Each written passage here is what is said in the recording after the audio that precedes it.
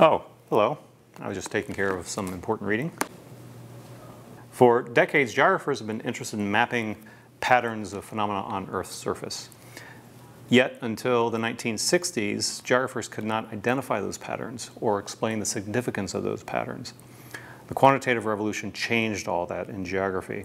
By quantitative, I mean mathematics, and by mathematics, I mean statistics.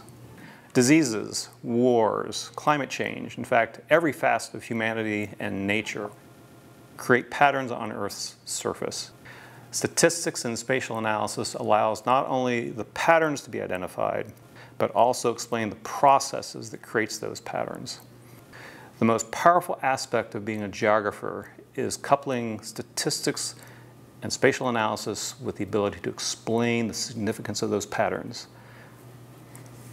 Geographic information analysis will allow you to do just that.